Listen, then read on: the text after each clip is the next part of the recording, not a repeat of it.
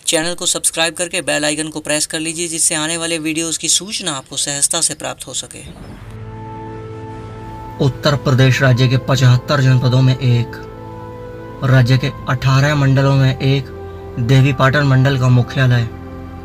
UP 43 से पंजीकृत वाहनों का अधिकृत जनपद। पूर्वांचल में सबसे तेज़ी से विकसित होते हुए शहरों में एक, गोंडा। आइए गोंडा शहर की यात्रा को प्रारंभ करते हैं रेलवे स्टेशन गोंडा जंक्शन से। गोंडा जंक्शन से कुल चार रेल मार्ग बहराइच, बलरामपुर, लखनऊ एवं बस्ती की ओर प्रस्थान करते हैं। यहाँ से उत्तर भारत के अधिकांश महत्वपूर्ण शहरों के लिए रेल सुविधाएँ उपलब्ध हैं। रेलवे स्टेशन से बाहर निकलते ही पश्चिम की ओर सड़क गोंडा शहर की ओर प्रवेश करती है। लगभग आधा किलोमीटर दूर यह सड़क शहर के महाराजा अग्रसेन चौक पर पहुँचती है। महाराजा अग्रसेन चौक, गोंडा शहर के उत्तरी भाग में स्थित महत्वपूर्ण चौराहा है। यहाँ से उत्तर पूर्व में रेलवे ऊपरगामी सेतु बलरामपुर की ओर प्रस्थान कर जाता है। अग्रसेन चौक से उत्तर में बड़गांव रानी बाज़ार स्थित है। यह बाज़ार शहर के महत्वपूर्ण व्यापारिक केंद्रों में एक है। अग्रसेन चौक से दक्षिण की ओर स्टेशन रोड मुख्य शहर की ओर प्रवेश करती है।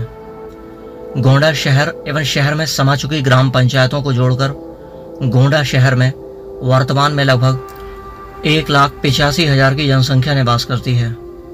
यह जनसंख्या के दृष्टिकोण से पूर्वांचल का दसवां एवं देवी पाटन मंडल में बहराइच के बाद दूसरा सबसे बड़ा शहर है। स्टेशन रोड दक्षिण की ओर बढ़ते हुए ददुआ बाज़ार आदि से होकर शहर के झूलेलाल चौराहा पर पहुँचता है। झूलेलाल चौक से पश्चिम में सड़क बाईपास होकर बहराइच मार्ग की ओर, दक्षिण पूर्व में सड़क आवास विकास एवं उतरौला रोड की ओर एवं दक्षिण की ओर स्टेशन मार्ग गुरु नानक चौक की ओर बढ़ जाता है। डिवाइडर युक्त सुंदर एवं स्वच्छ सड़कें विकसित गोंडा की छवि प्रस्तुत करती हैं। पौराणिक मान्यताओं के अनुसार रामायण कालखंड में यह समस्त क्षेत्र अयोध्या की गायों का चारागाह था और इसे गोनार्द के नाम से जाना जाता था। यहाँ श्रावस्ती राज्य एवं कौशल महाजनपद का भी भाग रहा। गोंडा शहर की स्थापना 1620 ईस्वी में राजा मानसिंह द्वारा की गई। मुगल काल में यह बहराइच मंडल क्षेत्र में आता था। अठारह सौ छप्पन में इस क्षेत्र पर अंग्रेज़ों का नियंत्रण हो गया, तब ब्रिटिश सरकार ने इसे जनपद का दर्जा प्रदान किया। उस समय गोंडा जनपद में राजस्व एवं प्रशासनिक कार्यों में सुलभता हेतु चार तहसीलें बलरामपुर, उतरौला, गोंडा एवं तरफगंज स्थापित की गईं। जिला अस्पताल जानकी नगर आदि से होते हुए स्टेशन रोड दुखहरण नाथ मंदिर से होकर गुजरती है। यह ऐतिहासिक मंदिर गोंडा शहर में विशेष महत्व रखता है। स्टेशन रोड यहाँ से दक्षिण की ओर बढ़ जाता है। देश की आज़ादी के पश्चात तुलसीपुर, मनिकापुर एवं कर्नलगंज में तहसीलों का सृजन किया गया। सड़क के बाईं ओर कोतवाली गोंडा शहर का परिसर दिखाई पड़ता है। उन्नीस सौ सत्तानवे में गोंडा जनपद के उत्तर पूर्वी भाग को विभाजित कर बलरामपुर, उतरौला एवं तुलसीपुर तहसीलों को जोड़कर बलरामपुर जनपद का सृजन किया गया। उन्नीस सौ सत्तानवे में ही फैजाबाद जनपद से बहराइच, गोंडा, श्रावस्ती एवं बलरामपुर जनपदों को विभाजित कर देवी पाटन मंडल की स्थापना की गई, एवं मंडल मुख्यालय गोंडा में स्थापित किया गया। स्टेशन मार्ग शहर के व्यस्ततम चौराहे गुरु नानक चौक पर पहुँचता है। यह चौराहा गोंडा शहर का हृदय केंद्र है। गुरु नानक चौक से उत्तर में स्टेशन रोड, उत्तर पश्चिम में बहराइच मार्ग, पूर्व में उतरौला मार्ग, एवं पश्चिम में कचहरी मार्ग प्रारंभ होता है। कचहरी मार्ग प्रशासनिक दृष्टिकोण से गोंडा शहर की महत्वपूर्ण सड़क है। यही सड़क गोंडा को बाराबंकी होकर और राजधानी लखनऊ से जोड़ती है। पश्चिम की ओर बढ़ते हुए यह मार्ग एलबीएस चौक से गुजरता है। इसी चौराहे के निकट लाल बहादुर शास्त्री स्नातकोत्तर महाविद्यालय का परिसर स्थित है। एलबीएस चौक से दक्षिण में सड़क बेलसर मार्ग की ओर, उत्तर पूर्व में बस स्टैंड की ओर जाती है। कचहरी मार्ग यहाँ से पश्चिम में बढ़ जाता है। एवं सरदार भगत सिंह इंटर कॉलेज के परिसर से होकर गुजरता है। गोंडा जनपद को वर्तमान में कुल चार तहसीलों, आठ विधानसभा निर्वाचन क्षेत्रों एवं 16 विकासखंड क्षेत्रों में विभाजित किया गया है। लगभग 4000 वर्ग किलोमीटर में फैले संपूर्ण गोंडा जनपद की वर्तमान जनसंख्या लगभग 42 लाख की है। कचहरी मार्ग पश्चिम में बढ़ते हुए शहर के अंबेडकर चौक से गुजरता है। अंबेडकर चौक से दक्षिण की सड़क जिला कारागार की ओर एवं उत्तर की सड़क कटरा बाज़ार की ओर जाती है। इसी चौराहे पर जिलाधिकारी गोंडा का प्रशासनिक कार्यालय स्थित है। कचहरी रोड यहाँ से पश्चिम में कर्नलगंज, बाराबंकी, लखनऊ आदि की ओर प्रस्थान कर जाता है। पूर्व में उतरौला की ओर से आने वाली सड़क उतरौला बाईपास से गोंडा शहर में प्रवेश करती है।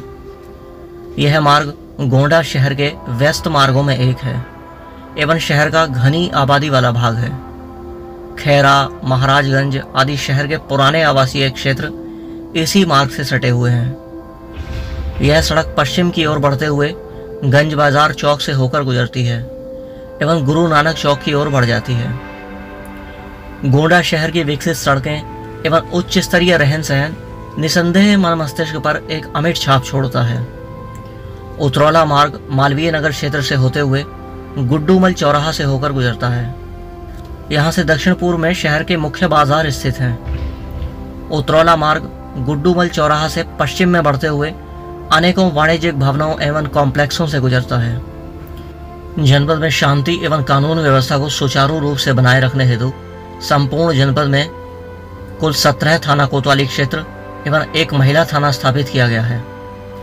उतरौला मार्ग पश्चिम की ओर गुरु नानक चौक पर जुड़ जाता है। गुड्डूमल चौराहा से दक्षिण पूर्व की ओर प्रारंभ होने वाला शहर का मुख्य बाज़ार चौक बाज़ार के रूप में जाना जाता है। दोनों ओर कतारबद्ध व्यापारिक प्रतिष्ठान इस मार्ग पर बड़ी संख्या में दिखाई पड़ते हैं। यह मार्ग पीपल चौराहा से होकर पूर्व की ओर घूम जाता है। गोंडा व्यापारिक दृष्टिकोण से देवी पाटन मंडल में बहराइच के बाद दूसरा सबसे महत्वपूर्ण शहर है। यहाँ बड़ी संख्या में शहर के लोग एवं आसपास के ग्रामीण खरीदारी हेतु एकत्रित होते हैं। चौक बाज़ार पूर्व में बढ़ते हुए शहर के व्यापारिक केंद्र बिंदु चौराहा चौक बाज़ार पर पहुँचता है। यहाँ दिन के समय बेहद भीड़भाड़ बनी रहती है। चौराहे से उत्तर पूर्व में शहर का व्यस्त बाज़ार, ठठेरी बाज़ार स्थित है। यह भी शहर के महत्वपूर्ण बाजारों में एक है। यह मुख्य बाज़ार चौक बाज़ार चौराहा से उतरौला मार्ग स्थित गंज बाज़ार चौराहा तक फैला हुआ है। चौराहा चौक बाज़ार से दक्षिण में चंद कदमों की दूरी पर अब्दुल हमीद चौक स्थित है। इस चौराहे से दक्षिण में सड़क बेलसर रोड एवं दक्षिण पूर्व में सड़क फैजाबाद मार्ग के रूप में जानी जाती है। यह समस्त क्षेत्र गोंडा शहर के सबसे पुराने बसे हुए क्षेत्रों में सम्मिलित होते हैं। फैजाबाद मार्ग भी अब पूर्णतः व्यापारिक बाज़ार के रूप में विकसित हो चुका है। यह मार्ग दक्षिण पूर्व की ओर नवाबगंज, बस्ती, अयोध्या, फैजाबाद आदि की ओर प्रस्थान कर जाता है। दक्षिण की ओर से आने वाला बेलसर मार्ग भी गोंडा शहर के महत्वपूर्ण मार्गों में एक है। पुराने शहर का एक बड़ा हिस्सा इस मार्ग से जुड़ा हुआ है। गोंडा शहर में कानून एवं शांति व्यवस्था को सुचारू रखने हेतु शहर को कुल दो थाना कोतवाली क्षेत्रों, कोतवाली शहर गोंडा एवं थाना कोतवाली गोंडा देहात में विभाजित किया गया है।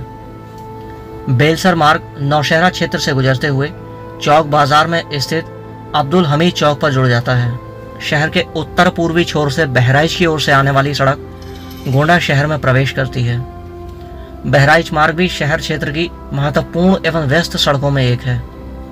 गोंडा शहर में पूर्व समय में तीन सिनेमाघर भी संचालित होते थे, जिनमें दो सिनेमाघर अब बंद हो चुके हैं। वर्तमान में कुंवर सिनेमा ही अपनी सेवाएँ प्रदान कर रहा है।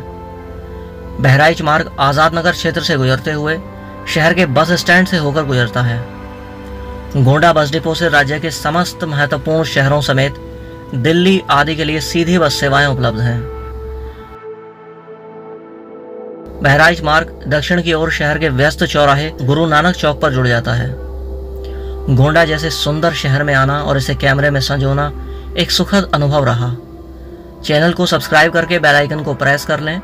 गोंडा पर बना यह वीडियो आपको कैसा लगा, कमेंट बॉक्स में ज़रूर बताएँ। वीडियो अच्छा लगा तो इसे अपने उन मित्रों एवं प्रियजनों के साथ साझा करें, जो गोंडा शहर अथवा जनपद गोंडा से जुड़े हुए हैं। मुझसे सीधा जुड़ने के लिए आप इंस्टाग्राम पर अकाउंट ध्रुव एम्पायर को फॉलो कर सकते हैं। आपसे मुलाकात होगी अगले ऐसे ही किसी वीडियो में। तब तक मैं ध्रुव वर्मा आप सभी से विदा लेता हूँ। धन्यवाद।